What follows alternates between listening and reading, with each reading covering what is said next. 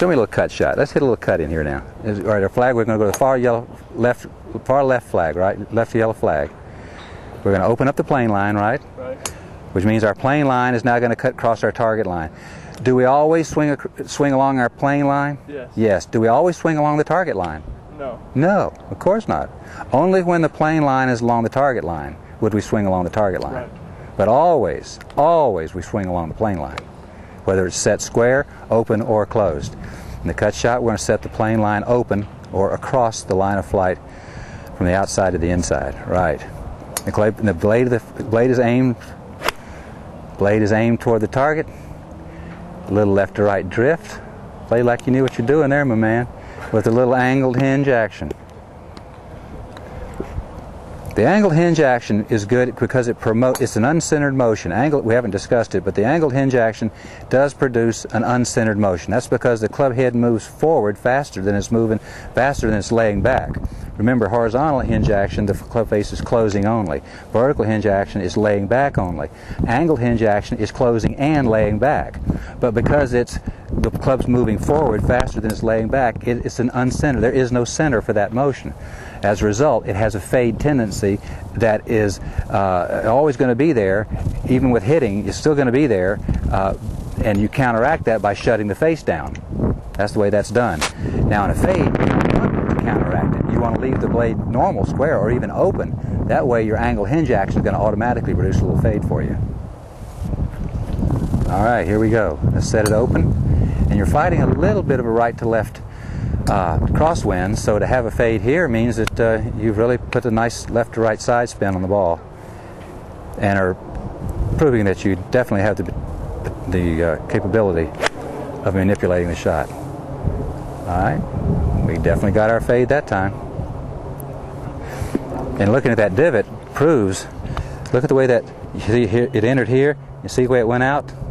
That club, that club face was definitely opening up as you came out of there, and that, so you were maintaining that club face uh, in its laying back mode The vertical hinge. hmm as you went through.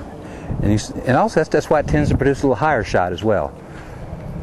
So there have been many great faders of the ball in history. Jack Nicklaus, Ben Hogan, Harry Vardon, Lee Trevino, Billy Casper.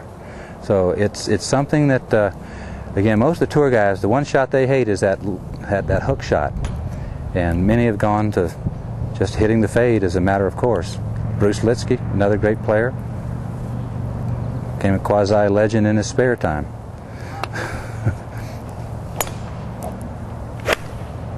Very nice. Beautifully. Look at that little. Is that not just the softest little cut you've ever seen? Isn't that wonderful? It is. There are greens that you will play in your championship career that, that they'll only accept that kind of a shot. It's the only way you're going to be able to keep the ball on the green. Get to, you get on the third, fourth day of a U.S. Open, they let the USGA lets those greens bake out like that. They start tucking those pins. That's the only shot that'll hold the green.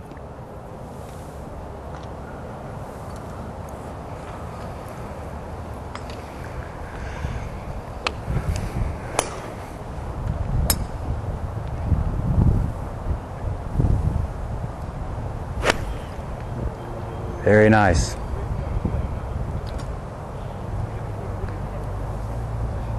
All right, let's bring it back more to the straight straight shot now.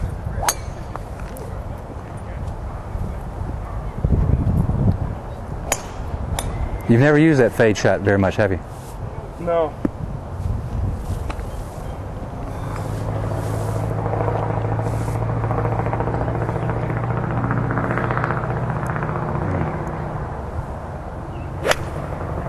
Perfect. Isn't it valuable to know, gee, this is fades, and I got to adjust a little bit over there for the straights, right? Right. And then you'll. We just started experimenting this morning with the with the closed plane line, what the draws are like, and the hands are learning. Fade, draw, straight shot. Knowing just one is not enough.